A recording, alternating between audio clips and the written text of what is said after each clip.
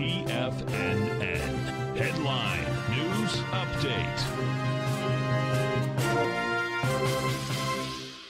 What's going on, everyone? This is Jacob Shoup filling in for Tom O'Brien. This is the 4 p.m. stock market update. Well, today we were all waiting for, of course, the FOMC. Powell spoke. We got a 50 basis point rate cut. They are uh, anticipating uh, an overnight rate of 4.4 by 2024, the end of this year, and then a 3.4 by the end of 2025. Let's see what the market's kind of doing. Well, at least the futures are off about 0.37. We're still high right now, right? I, I think the setup for this week is still, you know, probably movement higher, right? The gold contract off about 0.59%, trading at 2,680. Uh, you have the you had copper, excuse me, it's silver coming down a little bit as well. So finishing off about 2.4% at 30.22. The Dow Jones Industrial off about 0.25%. The composite off about 0.31% itself.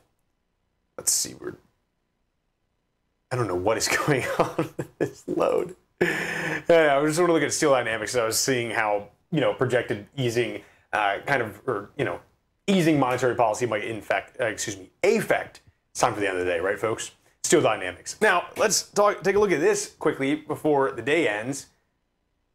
The tub, man. The tub.